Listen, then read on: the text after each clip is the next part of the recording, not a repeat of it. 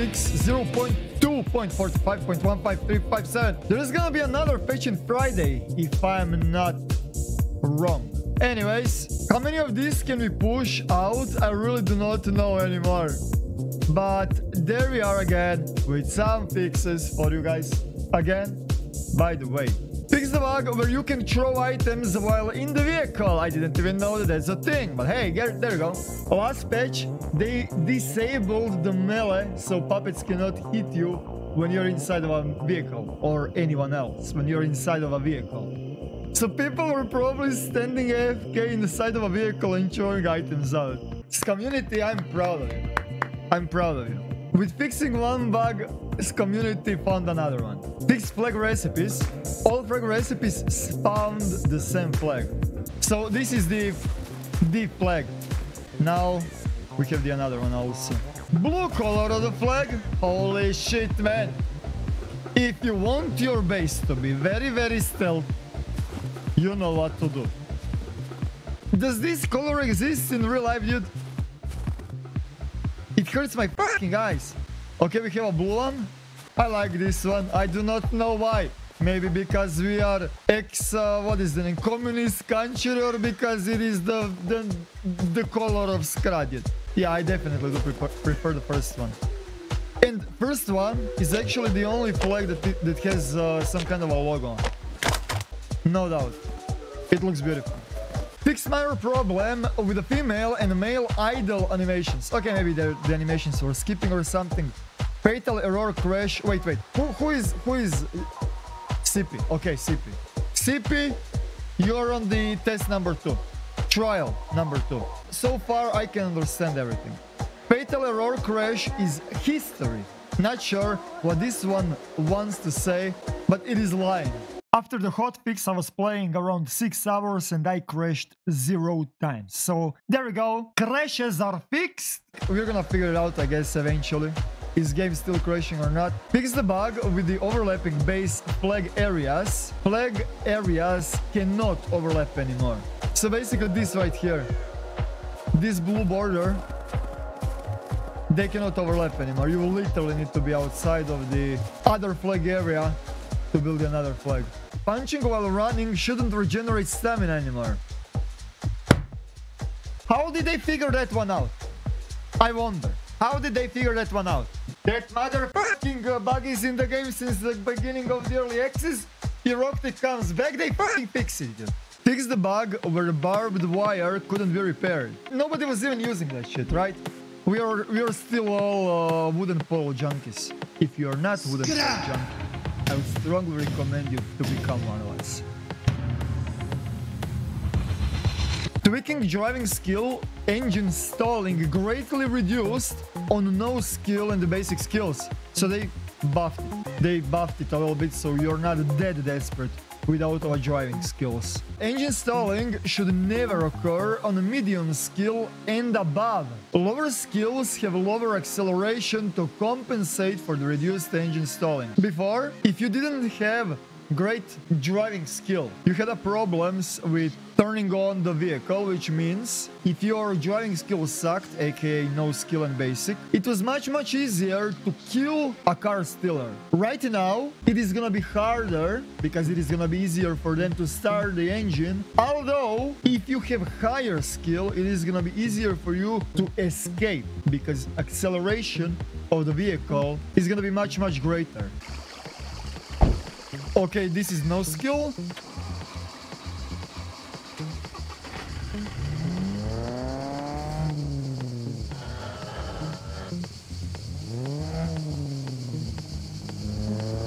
Oh okay, I get it, I get it. It is gonna be easy for you to start the vehicle, but changing the gears are gonna screw you up.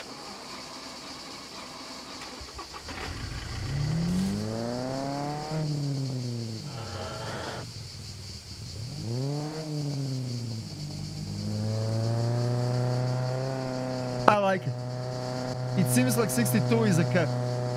Okay. And this is the advanced.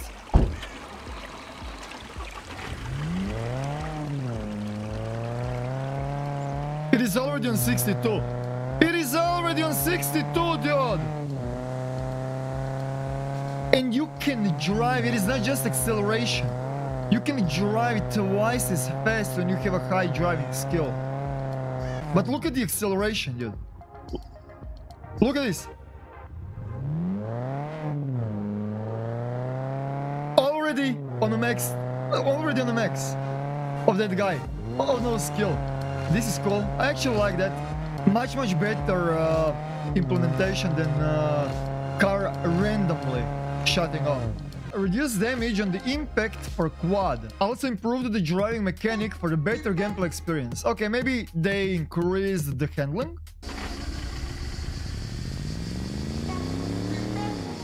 Yeah, they definitely increased the... They definitely buffed the handling. Definitely. I would already be doing this yet. This is advanced.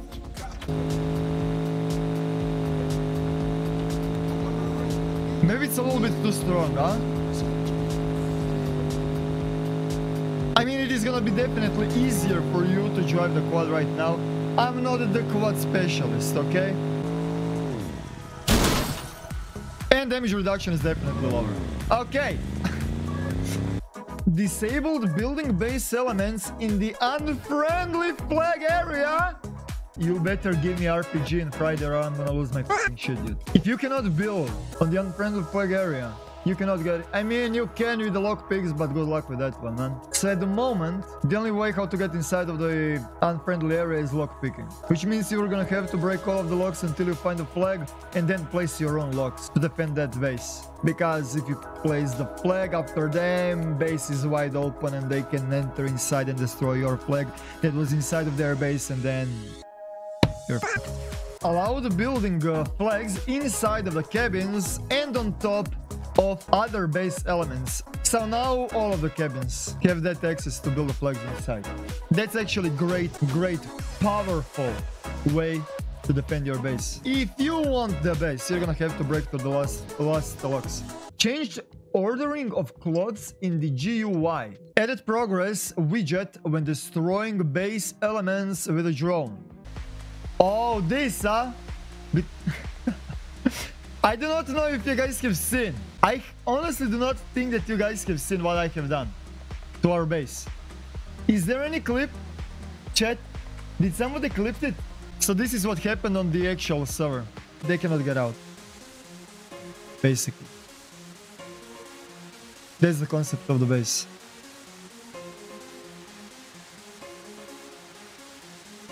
And this is our storage right here.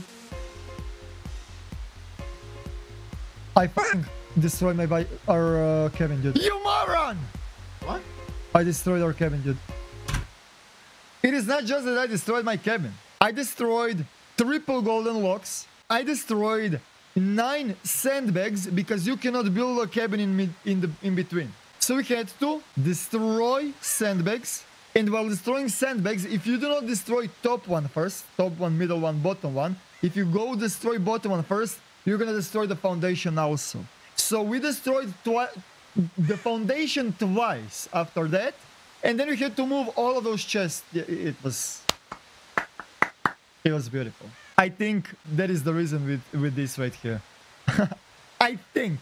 Enabled flag claiming over or less base elements. Oh, that is it. It's enabled. Now I can go base raid. I'm not gonna spoil way too much because everyone is gonna start to build like that and then I will not be able to break inside of bases. You're gonna figure it out. Watch the goddamn video. Subscribe to my YouTube channel. You're gonna figure it out. So now it is actually implemented. That's what we were saying before. We added a change to the flags and how they work. So from today, when you enter someone's base and destroy the flag, the elements of that base still belong to the person who built them. Now you need to craft a flag after you destroyed the old one to make the base yours. And I do completely agree with that one. Before, uh, the base was completely ownerless, ownerless, ownerless, ownerless. But now you actually need to, like it is gonna be like idle stage. It is still his until somebody builds a flag. You build a flag, boom, everything is wide open. I wanted to implement uh, mom joke here, but I, I want. Added possibility to have